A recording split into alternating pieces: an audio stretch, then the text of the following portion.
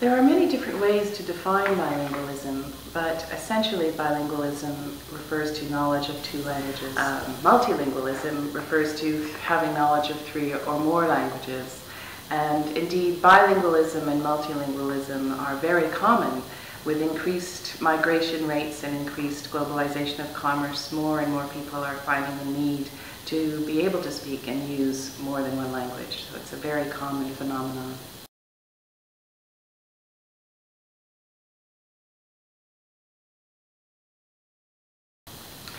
There are many different settings in which a child might become bilingual, but there are two main routes.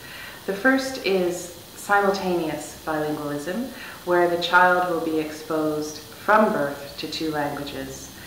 The second is sequential bilingualism, where the child is at first exposed to one language from birth, and then after a period of time, the child is introduced to a second language, where both languages continue to be relevant in the child's environment.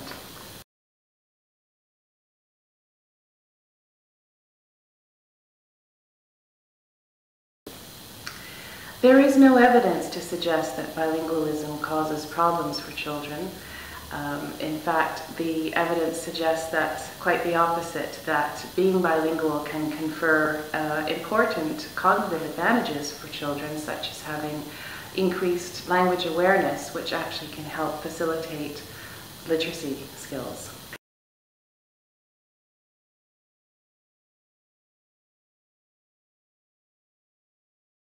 There is no evidence to suggest that coping with two languages is difficult for children. Research has shown that uh, bilingual children reach the same linguistic milestones as their monolingual peers and within roughly the same time frame.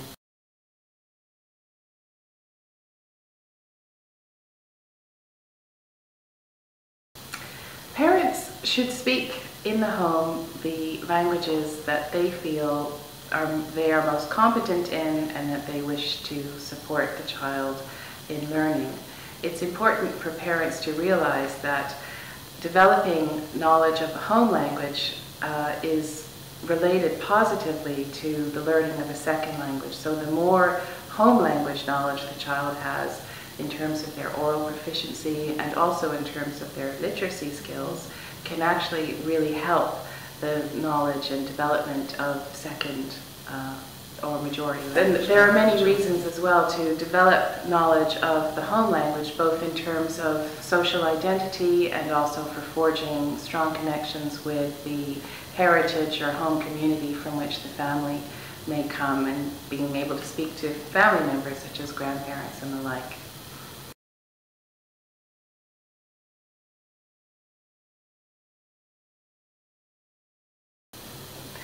It's quite common for parents to speak different languages to the child, and there is no evidence to suggest that this is in any way difficult or confusing to children. In fact, there are many settings around the world where, where children are exposed to these two languages in the home since birth, uh, and in fact, in settings where parents might even mix two languages, which we call code mixing. And this is a very natural part of bilingual language development, and there's no evidence to show that this in any way confuses the child or slows down their rate of language development.